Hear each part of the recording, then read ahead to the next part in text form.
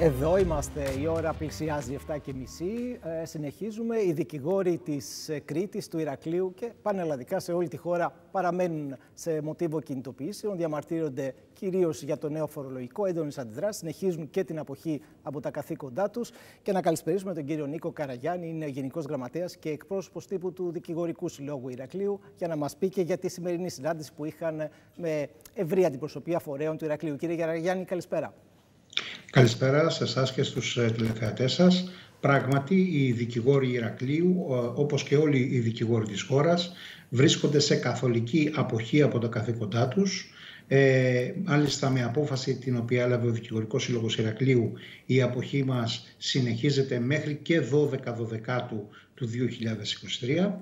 Σήμερα τώρα πραγματοποιήθηκε στα γραφεία του Δικηγορικού Συλλόγου Ηρακλείου μετά από πρόσκληση που απίφθινε ο πρόεδρος του Δικηγορικού Συλλόγου Ηρακλείου, κ. Λογοθέτης, ε, ευρεία σύσκεψη των ε, φορέων, ε, των παραγωγικών φορέων, των ελευθερών επαγγελματιών της πόλης μας. Να πω ότι σε αυτή την σύσκεψη, εκτός από το Δικηγορικό Σύλλογο Ηρακλείου που εκπροσωπήθηκε από τον πρόεδρο του και τα μέλη του ΔΣ, παρίστατο εκπρόσωποι από το Δικηγορικό Σύλλογο Λασιθίου, ήρθε ο πρόεδρος του ΤΕΕ, του Τμήματος Ανατολικής Κρήτης, ο κ. Σταβερναράκης, ε, ήρθε η Ένωση Φοροτεχνικών ήρθε, ε, Ηρακλείου, η οποία εκπροσωπήθηκε από τον κύριο Χριστοφοράκη. Ήταν η πρόεδρος των Πολιτικών Μηχανικών Ανατολικής Κρήτης, η κυρία Μανιαδή. Ε, ήταν ο κύριος Λιβαδιωτάκης από την ΟΕΒΕΝΗ. Ήταν ο κύριος Κοφινιδάκης από τους δικαστικούς επιμελητές. Ήταν η κυρία Γούναρη από τους ε, ε, συμβολογράφους. Ο κύριος Μανούλης Κουμαντάκης από τον Εμπορικό Σύλλογο Ηρακλείου. Ε, ο κύριος Κουταλάκης από την Ομοσπονδία Ξένων Γλωσσών, ε, ο Φαρμακευτικός Σύλλογος Ηρακλείου αντιπροσωπεύτηκε από τον πρόεδρο τον κύριο Αριστοτέλη του Σκουντάκη, ε, η Ένωση Ασκουμένων και Νέων Δικηγόρων ε, από τον αντιπρόεδρο της από τον Πετράκη και το Οικονομικό Επιμελητήριο από τον κύριο Άρη Κονομάκη, τον πρόεδρο του και ο Διατηρητικό Σύλλογος από τον κύριο Σμπόκο. Κύριε Καραγιάννη, ε, ουσιαστικά καλέσατε εσεί όμω όλους τους τοπικούς θεσμικούς φορείς. Καλέσαμε και παραβρέθηκαν. Πραγματικά οι διαπιστώσεις όλων είναι κοινές.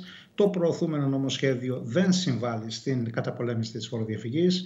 Ε, η φοροδιαφυγή καταπολεμάται με ελέγχους και όχι με αντικειμενικά κριτήρια. Η φοροδιαφυγή καταπολεμάται με μια προσπάθεια εμπέδωσης ε, θα έλεγα φορολογικής παιδείας τόσο στους ε, επιτιδηματίες όσο και στους απλούς πολίτες.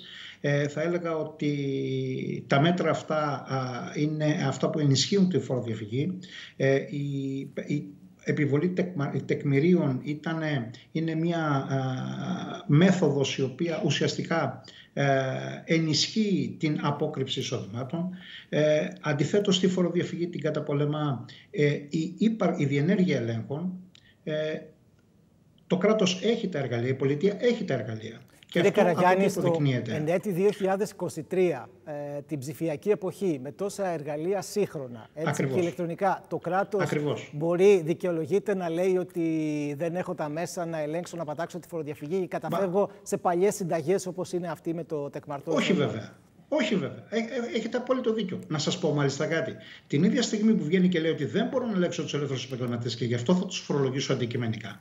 Την ίδια ακριβώς στιγμή έρχεται και λέει ότι το τεκμήριο είναι μαχητό και όσοι του αρνούνται να το σημειώσουν και να μπουν στη σειρά να ελεγχθούν. Άρα, είτε ελέγχει, είτε μπορεί να ελέγξει, είτε δεν ελέγχει, είτε δεν μπορεί να ελέγξει.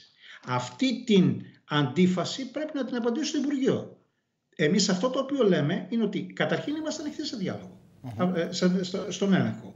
Όλοι είμαστε ανοιχτοί στον έλεγχο. Πιστεύουμε ότι τα αντικειμενικά κριτήρια αυτή τη στιγμή ε, επιτείνουν τη φοροδιαφυγή, λειτουργούν ως μορφή περαίωση, η οποία θα έλεγα ότι δεν συντείνει στην εμπέδωση φορολογικής συνέπειας από την πλευρά των δικουμένων.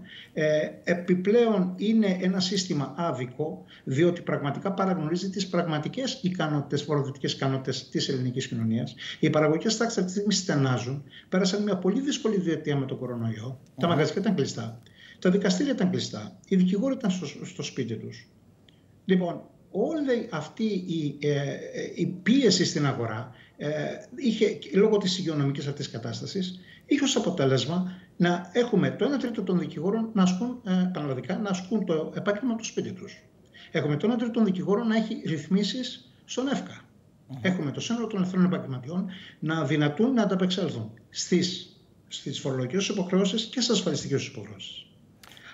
Η επιβολή επομένως αυτής της φοροαφέμαξη μέσω των αντικειμενικών κριτηρίων οδηγεί με μαθηματική ακρίβεια στην περαιτέρω συρρήκνωση της αγοράς. Δημιουργεί πολύ σοβαρό πρόβλημα, ιδιαίτερα για, τους πολύ χαμηλά, για τα πολύ χαμηλά εισοδήματα. Και αντιθέτως διευκολύνει, ενθαρρύνει την φοροδιαφυγή σε μεγάλες εταιρείες που παρέχουν τις υπηρεσίες τους είτε στα πλαίσια του δικηγορικού λειτουργήματος, είτε και σε άλλους τομείς. Κύριε Καραγιάννη, βέβαια η κυβέρνηση τις τελευταίες μέρες λέει ότι έχει κάνει κάποιες αλλαγές ε, στο πλαίσιο της διαβούλευσης και μετά από τις αντιδράσεις κάποιες βελτιωτικές παρεμβάσεις, έτσι τις λέει στο νομοσχέδιο αυτό για το φορολογικό. Είναι όντως ε, έτσι; Από τη στιγμή όμως που απευθύνονται αυτές οι φορολογικές παρεμβάσεις σε ένα πολύ συγκεκριμένο κοινό και δεν απευθύνονται στο σύνολο των ελευθερών επαγγελματιών πάλι αφήνουν ακάλυπτο και παράγουν ένα μεγάλο κομμάτι των ελευθερών επαγγελματιών και παράγουν αδικίες. Για παράδειγμα, όταν αρνείται να, συμ, να συμψηφίσει, όταν αρνείται να δεχθεί ότι ο ελεύθερος επαγγελματίας μπορεί να εισπράττει μισθώματα. Ο ελεύθερος επαγγελματίας μπορεί να στηρίζεται στην εργασία της συζύγου του ή άλλων μελών της οικογένειάς του το εισόδημά του μπορεί να ενισχύεται και από άλλες πηγές. Ενδεχομένως και από μια δεύτερη εργασία. Uh-huh. Ενδεχομένως και από αγροτικά εισοδήματα. Εδώ στην Κρήτη υπάρχει αυτό το πράγμα ή και από αγροτικέ επιδοτήσεις. Σωστά. Γιατί όλα αυτά αρνείται να τα συνυπολογίσεις στο, στο, στο τεκμήριο; Είναι το ερώτημα που σωστά και εσείς απευθύνετε στη μεριά της κυβέρνησης. Άρα λοιπόν, εσείς οι δικηγόροι εδώ στο Ηράκλειο συνεχίζετε λοιπόν την αποχή σας μέχρι τις 12 Δεκεμβρίου. Κοιτάξτε, εμείς συνεχίζουμε την, συνεχίζουμε την καθολική μας αποχή. Παράλληλα έχει ε, ε, για την 3η ε, 5 του Δεκεμβρίου, αύριο δηλαδή, και οι έμιστοι δικηγόροι κατεβάζουν τα μολύβια τους σε οποιοδήποτε ε, πόστο του δημοσίου, δέκο κτλ. και αν υπηρετούν. Ε, την ίδια στιγμή έχει αποφασιστεί από τους τοπικούς φορείς ε, ότι την ημέρα ψήφισης του νομοσχεδίου, ε, καταρχήν ε, την, στις 5 του μήνα αύριο θα γίνει ε, πορεία διαμαρτυρίας ε, στην Βουλή, στην οποία θα συμμετέχουν όλοι οι παραγωγικοί φορείς. Ε, τώρα, ε, την, τετάρτη, αφορά... την Τετάρτη έχετε και μία συμβολική διαμαρτυρία έξω από το ναι, δικαστικό την ημέρα ψήφισης του νομοσχεδίου, την, την ημέρα ψήφισης του νομοσχεδίου και ακριβώς οι φορείς του Ηρακλείου είπαν ότι θα συμμετέχουν σε αυτή την συμβολική παράσταση έξω από το δικαστικό μέγαρο του Ηρακλείου, όπου θα αναγνωστούν ψηφίσματα και όπου θα Είμαστε οι δικηγόροι εκεί έξω από το δικαστικό μέγαρο του Ηρακλείου, όπως θα γίνει και σε όλα τα δικαστικά μέγαρα της χώρας από τους δικηγόρους, προκειμένου να εκφράσουμε τη διαμαρτυρία μας απέναντι σε αυτό το άδικο ε, φορολογικό νομοσχέδιο. Να σας πω επίσης ότι οι φορείς συμφώνησαν στην άμεση σύνταξη και αποστολή ε, μιας κοινής επιστολής ε, προς τους βουλευτές της Κρήτης αυτό, έγινε, αυτό αποφασίστηκε από τη σημερινή σύσκεψη των φορέων στο δικηγορικό μέγαρο ε, στο Δικηγορικό Σύλλογο Ηρακλείου, που έγινε στο Δικαστικό Μέγαρο Ηρακλείου, ε, ε, εν ώψη της ψήφισης του φορολογικού νομοσχεδίου. Ε, κύριε Καραγιάννη, η πληροφόρησή σας είναι ότι την Πέμπτη θα έχουμε την κατάθεση του φορολογικού; Αυτή είναι η μέρα; Αυτή, αυτή είναι, αυτές είναι οι πληροφορίες μας. Άρα αυτή είναι και δική σας εκτίμηση. Νομίζω είναι η γενική εκτίμηση αυτή. Είναι, είναι, είναι γενική εκτίμηση. Είναι γενική εκτίμηση ότι, ότι στις 7 του μήνα θα, θα, περάσει, θα τεθεί προς ψήφιση στην Βουλή. Μάλιστα. Ωραία. Ε, Μιας και έχουμε τη χαρά να σας έχουμε μαζί μας, θα ήθελα και ένα σχόλιο σας για τις αλλαγές στο ποινικό σύστημα, στον ποινικό κώδικα που έχουν δει το φως στη δημοσιότητας τις τελευταίες μέρες. Τις γνωστοποίησε και ο αρμόδιος υπουργός, ο κύριος Φλωρίδης. Λοιπόν, πραγματικά τώρα μπαίνουμε σε ένα θέμα που κανείς δεν ξέρει πού να το πιάσει και πού να το αφήσει. Θα, έλεγα, θα σας έλεγα με μία φράση πατήσαμε το κουμπί για να επαναφέρουμε τις εργοστασιακές ρυθμίσεις στον ποινικό κώδικα και στην ποινική δικονομία και να γυρίσουμε την ποινική δικαιοσύνη πάρα πολύ πίσω. Ενώ όλες οι χώρες, η νομοθεσία των, των ευρωπαϊκών χωρών διαπνέεται από ένα πνεύμα φιλελευθερισμού, το οποίο προσπάθησε εμπολίστα το ενσωματώσει στην εσωτερική νομιτάξη ο εδώ νομοθέτης με τα νομοθετήματα τον 4619 και το 4620 του 2019, το, νέο, το λεγόμενο νέο ποινικό κώδικα και νέο κώδικα ποινικής δικονομίας. Με αυτή την πράξη επιχειρείται η ολοκληρωτική πλέον κατάργηση ε, κάθε προσπάθειας φιλελευθεροποίησης του ποινικού κώδικα.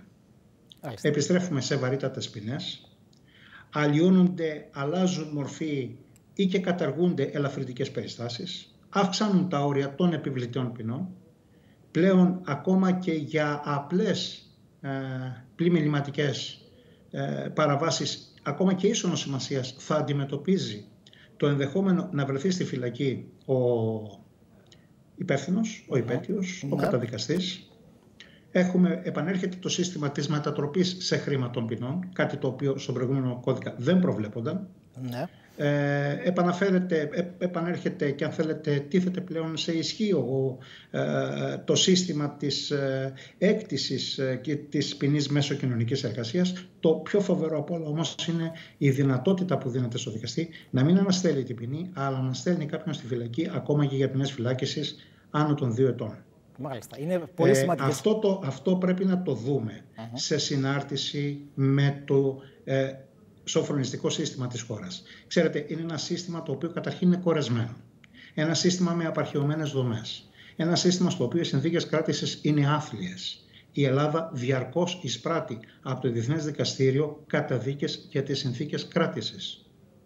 Και είναι πραγματικά απορίας άξιο πώς σε αυτό το, σε αυτό το σοφρονιστικό σύστημα μπορείς να χωρέσεις και άλλους ανθρώπους. Και χαρακτηριστικό, κύριε Καραγιάννη, συγγνώμη σας Είμαστε κατηγορηματικοί σε αυτό. Σωστό. Και χαρακτηριστικό παράδειγμα είναι εδώ η Κρήτη, το νησί μας κύριε Καραγιάννη, διότι όλοι ξέρουμε το πόσο κορεσμένες είναι οι παλιές φυλακές στην Έλλη Καρνασό και πόσα χρόνια περιμένουμε να αναγερθούν οι νέες φυλακές που είναι αναγερθούν. Οι οποίες δεν έχουν αναγερθεί και οι οποίες δεν έχουν παραδοθεί. Σωστά. Και όχι, μόνο, και όχι μόνο αυτό. Επιχειρείται πραγματικά. Γιατί και συνδέεται είναι άμεσα συνδεδεμένο με αυτό που, θα σας έλεγα, που, με αυτό που συζητούσαμε αμέσως πριν. Αν για τη φοροδιαφυγή φταίνε οι δικηγόροι, φαίνεται τελικά ότι οι δικηγόροι φταίνε και για την έλλειψη ε, αν θέλετε, και για την ε, επιβράδυνση της ποινικής δικαιοσύνης. Γιατί επιχειρείται η επιτάχυνση αυτή σε βάρος του δικαιώματος ελεύθερης επιλογής συνηγόρου. Όταν λένε ότι πλέον μία αναβολή θα χορηγείται στον συνήγορο ή σε οποιοδήποτε παράγοντα της δίκης. Μία και μόνο αναβολή της υπόθεσης. Αυτό καταλαβαίνετε τι τρομακτική πίεση θα δημιουργήσει στους συνηγόρους αλλά και στους ίδιους τους πολίτες οι οποίοι θα δικάζονται. Όταν έρχονται ρυθμίσεις που λένε ότι, ξέρετε κάτι, τα αστυνομικά όργανα τα οποία καταθέτουν προανακριτικά θα έρχονται και θα διαβάζουν την καταθέση τους χωρίς να κλητεύονται, χωρίς να γίνεται διαδικασία. Η διαδικασία στο ακροατήριο θα γίνεται πάρα πολύ σύντομα. Θα έχουμε γρήγορη απονομή της δικαιοσύνης, είναι βέβαιο. Δεν είναι καθόλου βέβαιο με αυτές τις ρυθμίσεις αν θα έχουμε ποιοτική απονομή δικαιοσύνης, αν θα έχουμε δίκαιη δίκη. Και ξέρετε, η δίκαιη δίκη δεν είναι στην αρμοδιότητα του Υπουργείου Δικαιοσύνης να τη ρυθμίσει. Υπάρχουν διεθνείς δεσμεύσεις της χώρας. Υπάρχει σωρία διατάξεων από αυτές που προτείνονται στον κώδικα ποινικής δικονομίας. Άρα φοβάστε για παράδειγμα, ότι... η κατάργηση των πενταμελών εφετείων ως ε, η κατάργηση των πενταμένων εφετείων, γιατί είναι μεγάλοι σχηματισμοί και θέλουμε να αποδεσμεύσουμε ε, ε, δικαστές από αυτούς. Αυτά όλα προσκουρούν σε σειρά διεθνών δεσμεύσεων της χώρας από διεθνείς συνθήκες που προστατεύουν τα δικαιώματα του κατηγορουμένου και που επιτάσσουν στον Έλληνα νομοθέτη, στον Έλληνα ποινικό νομοθέτη, να σέβεται την αρχή της δίκαιης δίκης και να παρέχει δικαιώματα και να κρίνει τον κατηγορούμενο παρέχοντάς του όλα τα δικαιώματα να υπερασπιστεί τον εαυτό του.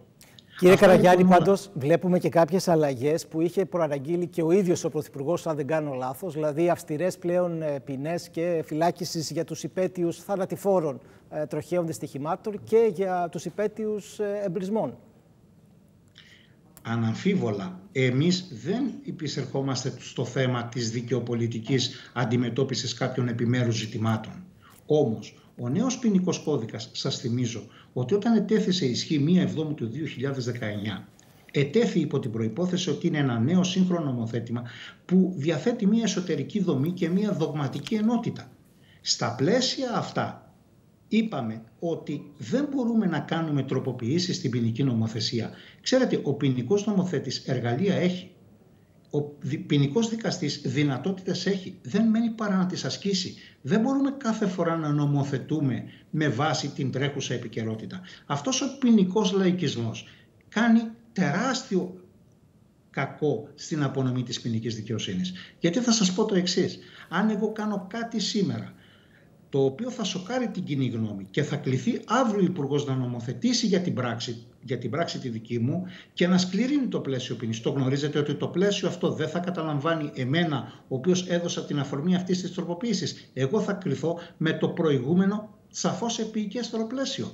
Αυτή είναι η αρχή του ποινικού δικαίου. Επομένως, αυτός ο λαϊκισμός, ο ποινικός λαϊκισμός, αυτό το να φτιάχνουμε τον ποινικό κώδικα κατά το δοκούν και για να εξυπηρετήσουμε, να χαϊδέψουμε τα αυτιά μιας, αν θέλετε, συντηρητικής πολιτικής μερίδας των πολιτών που ενδεχομένως να εκπροσωπούμε, αυτό δεν προάγει ούτε την έννοια της απονομής της δικαιοσύνης, ούτε ασφάλεια δικαίου λειτουργεί, δημιουργεί, ούτε τον ποινικό δικαστή βοηθάει, ούτε αίσθημα ασφάλειας στην κοινωνία δημιουργεί, ούτε την ίδια στιγμή προάγει τις αρχές του ποινικού δικαίου που είναι η γενική αλλά και η ειδική ταυτόχρονα πρόληψη. Κύριε Καραγιάννη, νομίζω ότι είστε απολύτως ε, σαφής και ξεκάθαρος. Ε, θα ήθελα να σας ευχαριστήσω πάρα πολύ, να σας ευχηθώ καλό βράδυ. Σας ευχαριστώ πάρα πολύ. Να είστε καλά. Και εσείς να είστε καλά.